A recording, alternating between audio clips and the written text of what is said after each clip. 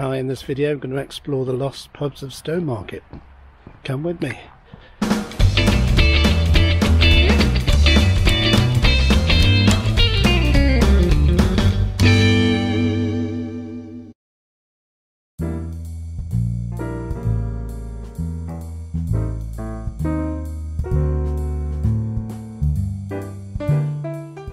If you're new to this channel, please don't forget to click the red subscribe button and click the little bell icon and then you'll get notifications of new videos.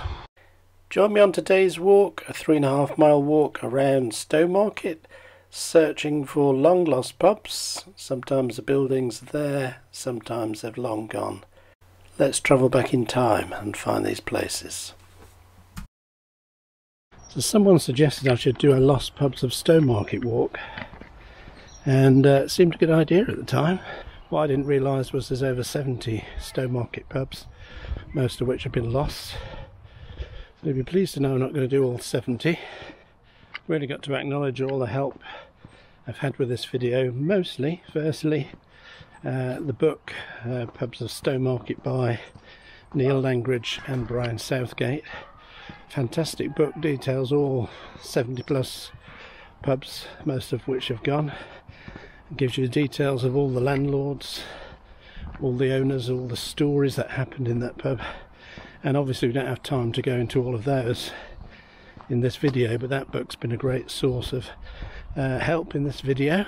Unfortunately, the book's out of print, but uh, there is a copy at Stowmarket Library, uh, so if you want to track that down, get a library ticket and go there. And then there's been the Stowmarket Past and Present Facebook group, been really helpful providing stories and some of the pictures. Uh, couldn't have done it without them. So it's definitely a group effort. I'm just doing the walk. As I said, I'm not able to do all 70 pubs that feature in the book, but I'm going to attempt, I think, 28. But let's make a start with the first one as we come into Stowmarket from the Bury Street end.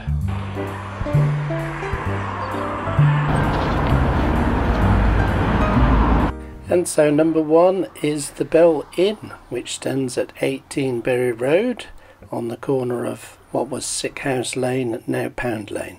It was open 1836 and closed in 1919. A newspaper from 1880 stated that a man from London visited the landlord of the Bell Inn and sold him a donkey.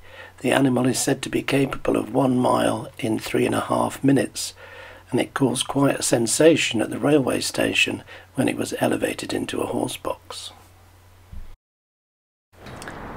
Okay, so we could walk straight on into town, but what we're going to do is take a right and go up Fairfield Hill. It was back in the day called Violet Hill. And at number 56 once stood the Baker's Arms, which, uh, no surprise as its name suggests, it was also a bakery and later when it lost its license became a lodging house.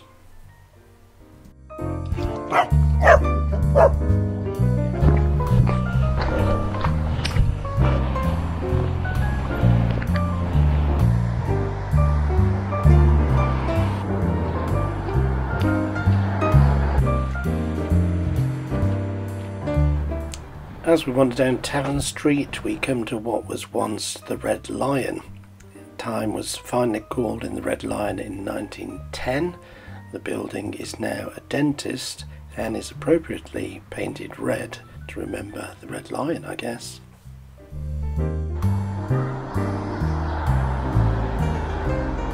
Just along Tavern Street on the corner with the marketplace stands a solicitor's office that was once the Greyhound Inn. This building dates back to the 14th century and is probably the oldest building in Stowmarket apart from the parish church. Previously to having the name Greyhound, it was formerly known as the Angel Inn. Just across the road from the, where the Greyhound was is the site of the Bull Inn. It was in a previous building, but it, on the site of where the pancake shop and Carphone warehouse is now. The old building was demolished in 1843 and the current building was erected and a local chemist transferred his business into the current building. The current building changed hands many times over the years. At one time it was a gunmaker's and then it belonged to Simpson's and then became a local newspaper office. And for a time it was a flower shop before becoming the pancake shop. We now turn left at Bury Street and before long we come to another lost pub of Stowmarket. Just up past Tall Orders Cafe, you can see in the distance the old co-op building which now stands empty. It used to be the Fox and Hounds.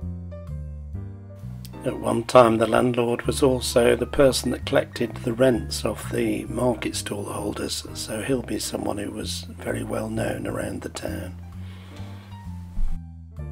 Another thing to note is that the old archway of the pub corresponds approximately to where the new archway is that takes you through to the back of the buildings. A few steps up the road we come to what's now Pilates studio and it was the Vulcan Arms which has nothing to do with Star Trek but Vulcan was the Roman god of fire and metalworking and it related to the iron foundry nearby. In this sole photograph of the street, you can see what I think is the landlord stood outside the Vulcan Arms. The building is more commonly remembered as Simpson's Toy Shop, and in this old photograph you can see it still had the name above the new Simpsons shop name. A few steps up the street, just past the opticians, we come to number 43, which used to be the Maybush. Uh, it had a grocer's shop in the pub, and the owner was often listed as a beer seller and shopkeeper on the census. Today, number 43 Bury Street is part of a more recent housing development.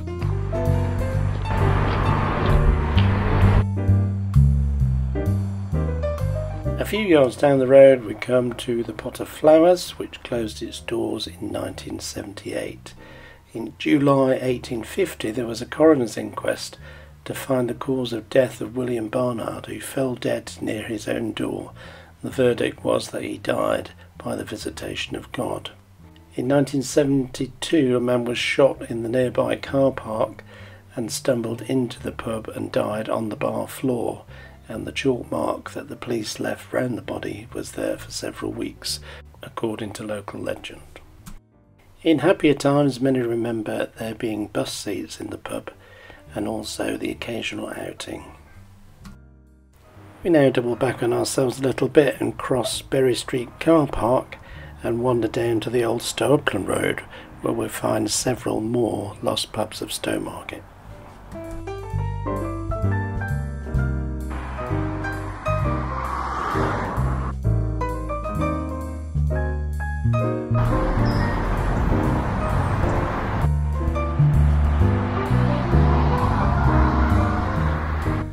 Building now occupied by Louise's Hair Company was once the barge. The life of this pub really followed the fortunes of the Gipping Navigation, opening around the same time, and it closed in 1909. It was said around the 1900s that fourpence could get you a pie, a pint and a thick ear at the barge. Doubling back on ourselves, we soon come to number 26 to Upland Road, which was the Staff of Life. It began life as a shop and later became a bar, and like the barge, it served the people coming off the River Gipping, the barges, and also the maltsters all around the area. Just across the road from the Staff of Life and the barge was a very ancient building dating back to the 1600s, the White Lion. Although situated a little out of the centre of the town, it's often mentioned as the location for auctions and seems to have been a very busy place. Sadly, this ancient building has now been lost as it was demolished to make way for the relief road.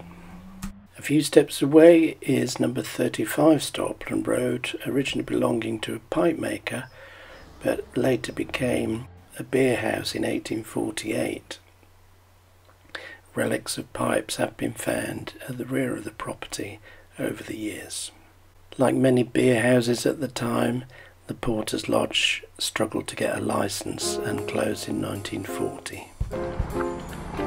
Now we walk further up the street, crossing the River Gipping, Walking past the old Pickerel pub, that's one a very old building there, and wait for the dreaded railway crossing, we come to the next one. And so to pub number 14, the Duke of Wellington Inn on Stowupland Road, not to be confused with the Little Wellington just opposite. The Duke of Wellington served the area from 1864 till 1975 when it closed. It's now a chiropractor's office. It's about halfway through the walk now, and then we'll probably see what happened when the railways came to Stowmarket. I have to say, this is the driest pub crawl I've ever been on. I've been to 14 pubs, I've not had a drink yet.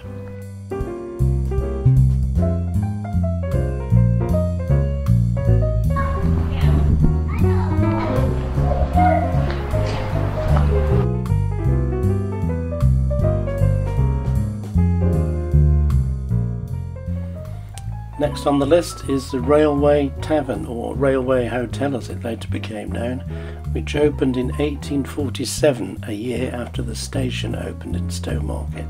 And it was there in business till 1978 when it closed, and it's currently a children's nursery.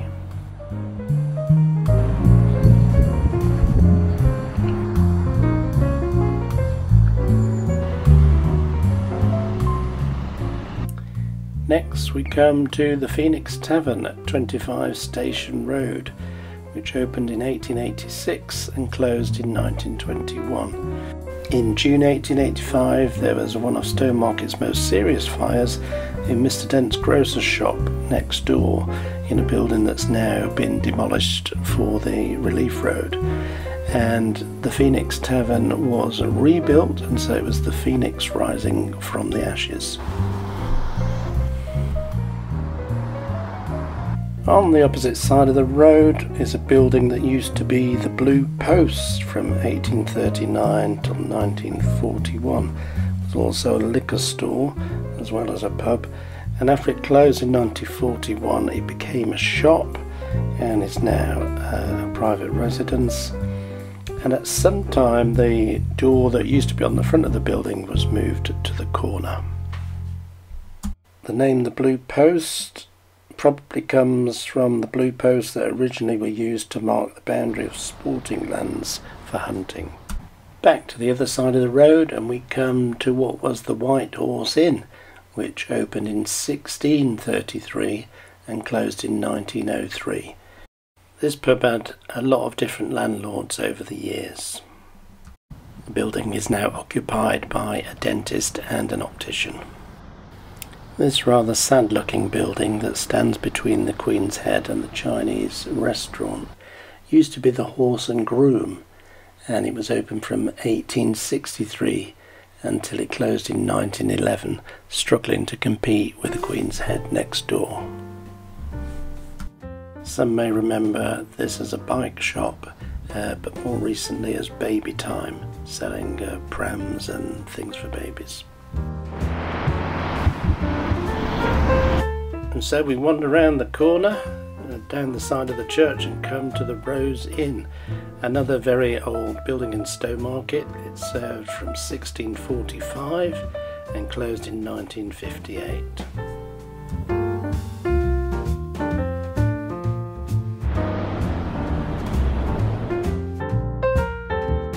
The Rose Inn is now a office for solicitors. So we wander across the marketplace towards Crow Street for the next one. The White Hart, formerly the Black Swan, stood at 6 and 6A Crow Street, opened from 1818 and closed in 1967. And this building is now the offices of an estate agent, Lacy Scott and Knight. Just around the corner in the marketplace we find the location of the White Hart, similar name, different pub, which was opened between 1641 and 1808. The building previous to the Peacocks was Woolworths, going back a long way, and even a bit further than that it was also Turner's shop. And it was before that it was the White Hart. It's now Peacocks. Along the street a bit and we come to the location of another missing pub. This time the building's completely gone. The King's Head stood there from 1617, uh, closed in 1963 and was demolished shortly after.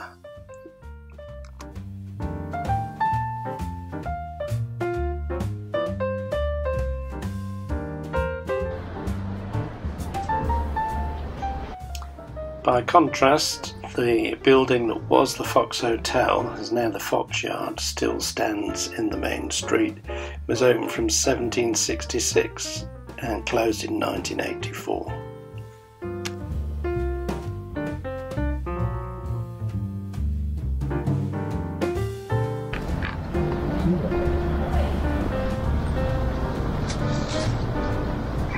Few doors down, next to the Oak, is a fried chicken shop, but this used to be the Prince of Wales pub, which was open from 1859 till 1907. This pub always struggled with it being adjacent to the Oak next door. After it closed in 1907, it became a shop and at one time a greengrocer's, and now, as we know, a fried chicken shop. Okay, if anyone's still watching, we've just got three more pubs to do, so hang on in there. The next one we come to, which is the most recent victim of closure, is the Duke's Head, which was opened from 1660 to 2014. The adjacent Duke's Head Meadow was the site of travelling fairs and circuses in the early 20th century, until the Regal Cinema was built on the site in 1935.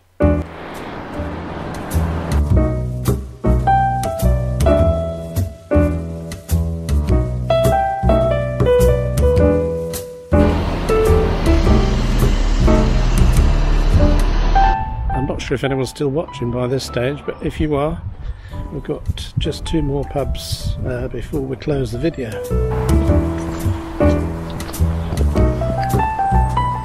And so we come to the Unicorn in Lime Tree Place, which was open from 1861 and closed in 2010.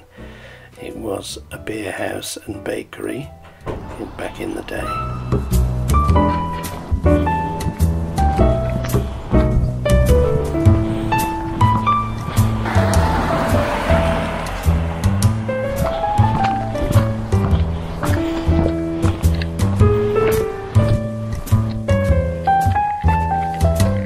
And finally, the last pub is the Rose and Crown at 32 Bridge Street, which opened in 1867 and closed in 1992. I hope you found that interesting. If you did, please click the like button on YouTube, give us a thumbs up, and I'll see you in the next video.